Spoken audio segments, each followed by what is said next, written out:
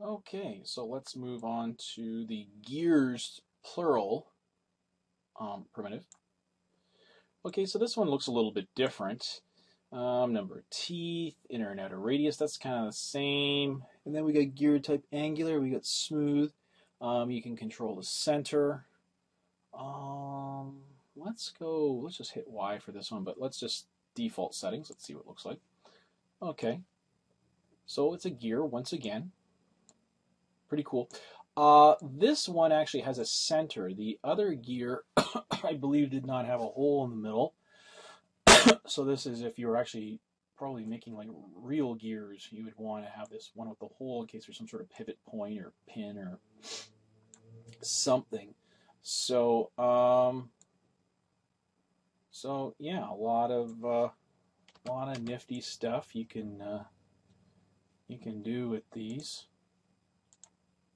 Let's try bevel.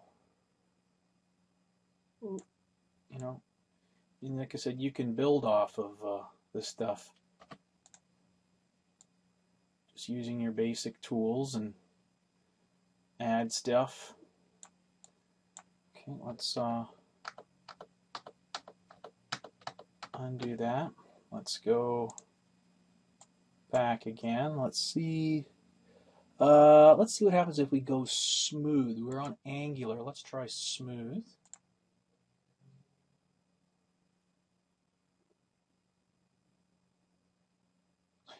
And we have a crash. Okay. Let's try this again.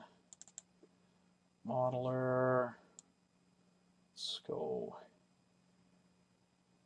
back let's go to gears, smooth.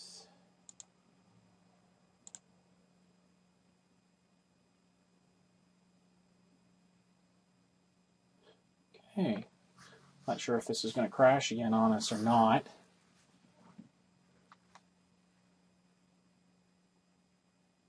Okay, peculiar. Okay, so that one's not, I don't think that one's going to work for us.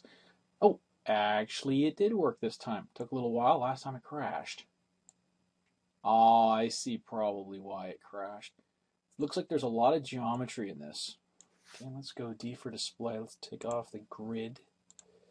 Okay, so what it the smooth one does is it rounds off these ends.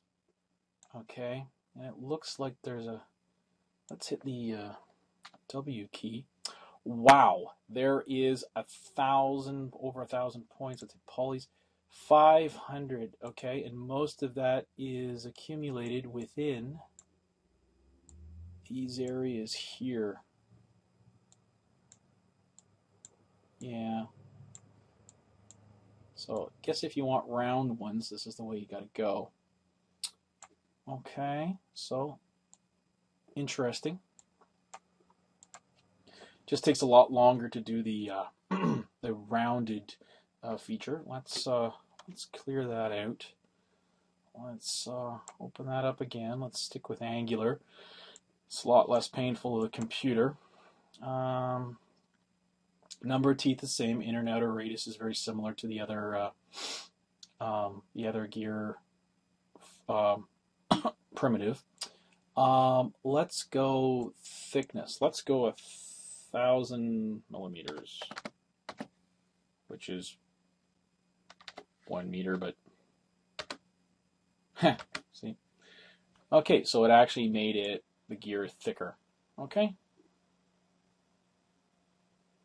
And if you don't like the thickness of something, I mean, it's easy enough. You just grab those points or the poly and just raise it down, raise it up. Do, do whatever you want with it. Okay? So we're going to move on to our next primitive.